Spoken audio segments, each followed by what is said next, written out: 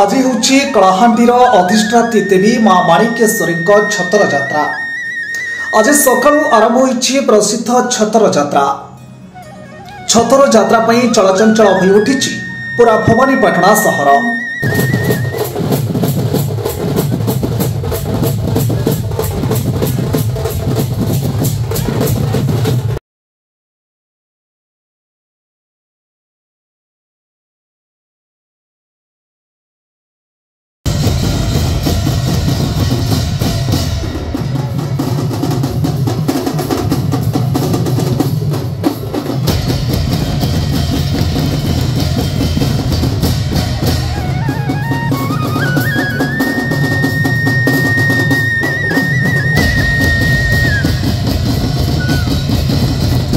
ର ବାରଣ ଓ ସଚେତନ ସତ୍ତ୍ୱେ ଆଜି ହଜାର ହଜାର ସଂଖ୍ୟାରେ ପଶୁ ପକ୍ଷୀକୁ ଦେଖିବାକୁ ମିଳିଛି।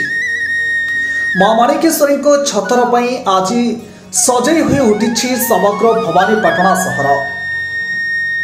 ଗତକାଲି ନିଶାର୍ଦ୍ଧ ରାତିରେ ପୋଢ଼ ଭଳି ମନ୍ଦିରରେ ହେବା ପରେ ମାଙ୍କ ଛତର ଜେନା ଖାଲକୁ ଯାଇଥିଲା।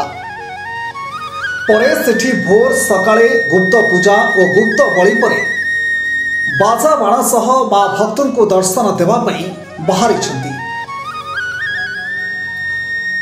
ତେବେ ଅଧିକ ସୂଚନା ପାଇଁ ଫୋନ୍ ଲାଇନ୍ରେ କଳାହାଣ୍ଡିରୁ ଆମ ପ୍ରତିନିଧି ରଞ୍ଜନ ମହାନ୍ତି ଆମ ସହ ଯୋଡ଼ି ହେଉଛନ୍ତି। ଆ, ତେବେ ରଞ୍ଜନ ଆଜି କେମିତି ରହିଛି କଳାହାଣ୍ଡିରେ ମା ମାଣିକେଶ୍ୱରୀଙ୍କ ଛତର ଯାତ୍ରା? ଯେଉଁଭଳି ଭାବରେ ପଶୁ ବଳି କଥା କୁହାଯାଉଛି ଆ, ସେଠି କିଭଳି ଚାଲିଛି କଳା ସୁରକ୍ଷା ବଳୟ ସତ୍ତ୍ୱେ ତଥାପି ଅନେକ ପଶୁପକ୍ଷୀ ଦେଖିବାକୁ ମିଳୁଛି କ'ଣ ରହିଛି ତମାମ ସୂଚନା ରଞ୍ଜନ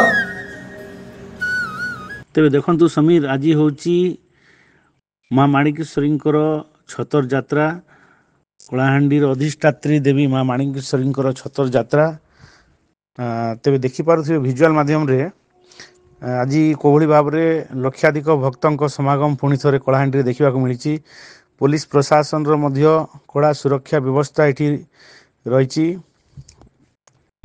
ସକାଳୁ ଆଜି ମା ମାଣିକେଶ୍ୱରୀ ସକାଳୁ ଆଜି ଏ, ବିଶ୍ୱ ଛତର ଯାତ୍ରାରେ ଆଜି ବାହାରିଛନ୍ତି। ଏଥିପାଇଁ ଭବାନୀପାଟଣା ସହର ତମାମ ସହର ଆଜି ଚଳଚଞ୍ଚଳ ହୋଇ ଉଠିଛି ଦେଖିପାରୁଥିବେ।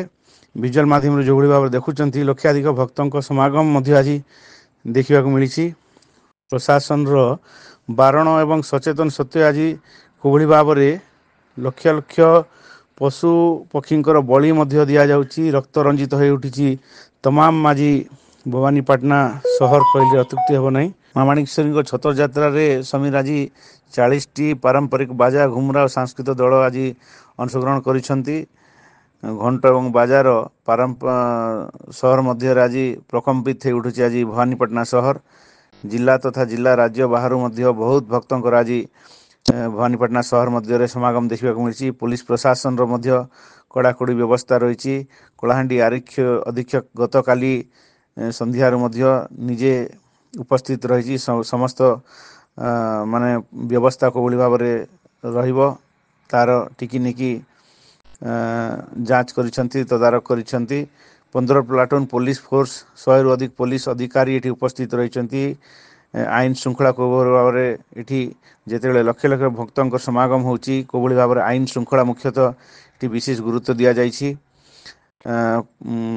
ବର୍ଷ ତମାମ ମନ୍ଦିରର ଅନ୍ଧାର ଗୃହ ମଧ୍ୟରେ ମା ଯେତେବେଳେ ପୂଜା ପାଉଛନ୍ତି ବର୍ଷକରେ ଦିନଟେ ମଧ୍ୟ ଦିନଟେ ମାତ୍ର ମା ଏହି ଛତର ଯାତ୍ରାକୁ ସହରକୁ ବାହାରିଛନ୍ତି ଏବଂ ଭକ୍ତକୁ ଦର୍ଶନ ଦେଇଥାନ୍ତି। ତେବେ ଏହି ଛତର ଯାତ୍ରାକୁ ବର୍ଷ ତମାମ ଭକ୍ତମାନେ ଅପେକ୍ଷାରେ ରହିଥାନ୍ତି। କେବେ ମା ଏ, ତାଙ୍କର ସେଇ ଅନ୍ଧାର କୋଠରୀ ଭିତରୁ ବାହାରିବେ ମା ମାଣିକେଶ୍ୱରୀ ତାଙ୍କର ଗୋଟେ ଝଲକ ଗୋଟେ ଦର୍ଶନ ପାଇବା ପାଇଁ।